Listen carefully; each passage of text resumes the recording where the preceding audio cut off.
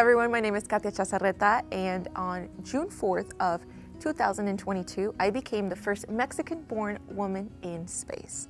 My story shares a lot of similarities to the story that we're going to be reading today because Ellen Ochoa, who this story is about, is also an electrical engineer and also went to space. So she is a huge inspiration for me. Let's get started.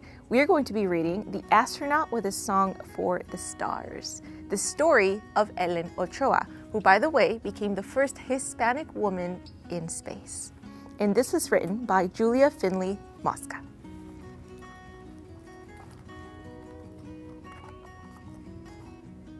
If you have a mission, a dream to explore, but no one like you has achieved it before, listen up to this tale of one star engineer, Dr. Ellen Ochoa, a space pioneer.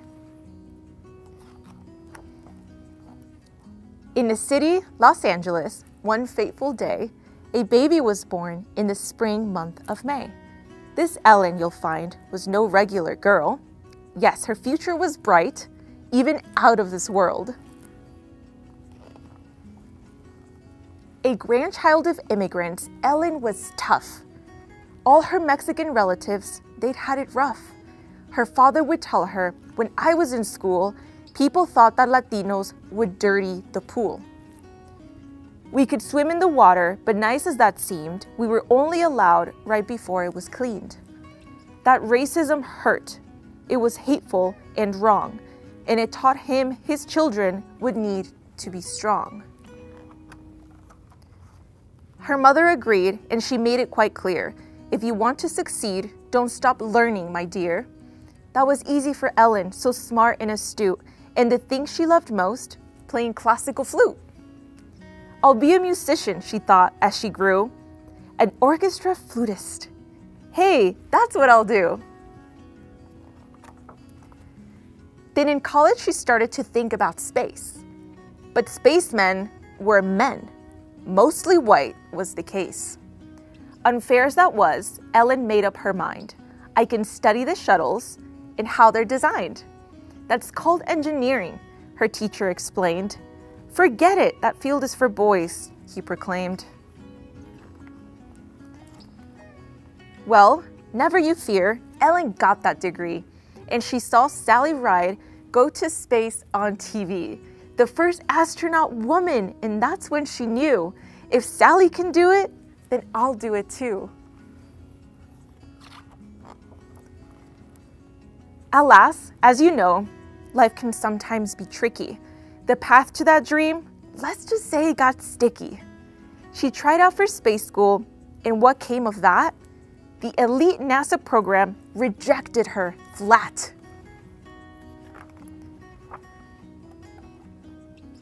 Did she stick with her goal? Oh, you bet, she had brains.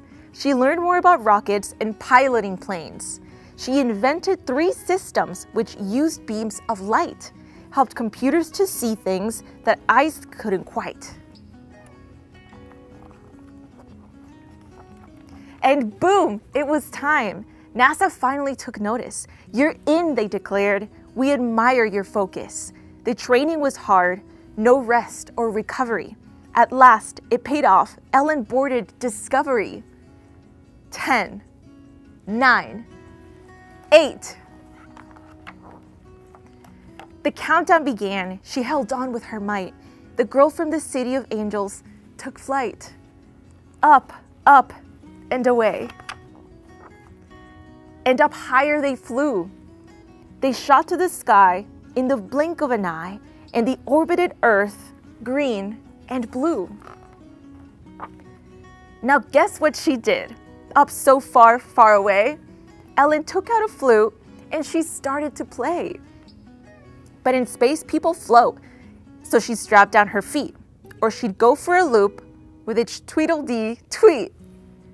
When she finished her tune, she considered existence. Our planet, so tiny, from such a great distance. Though very few humans have been in this place, she's done it. The world's first Latina in space. If you're thinking, that's awesome, you're right, it was sweet. All those years of hard work helped her conquer this feat, And because of her skills, NASA needed her more. One mission is stellar, but Ellen did four. See, the tools that she managed were pretty profound, like an arm that helped astronauts spacewalk around. She studied the sun, its effects on us here, the climate and harm to our Earth's atmosphere. This research, of course, brought her so much respect that the Johnson Space Center said, Ellen, direct! She accepted and set one more record to boot. First director with Latin American roots. Today, here on Earth, Ellen has a new mission to bring all of NASA's great deeds recognition. She still plays the flute, and one note she'll impart there's a place in this world for both science and art. Yes, all of this wisdom and talent, not small, has won her awards, but one tribute beats all. There are schools with her name, the best honor indeed, since a good education helped Ellen succeed. So if life knocks you down, lift your eyes to the sky. Just dust off your wings, get back up, you can fly. With persistence and knowledge, you'll surely go far. Keep your head up like Ellen and shoot for the stars. Dear readers, always persevere and take things one step at a time. Sometimes it can be daunting to think about going after a big goal, but if you break it down step by step, you'll often find it's a lot more doable. Dr. Ellen Ochoa. Buenas noches, El Paso. Good night.